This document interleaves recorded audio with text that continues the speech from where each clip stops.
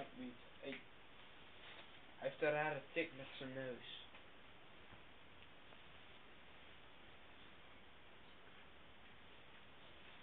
met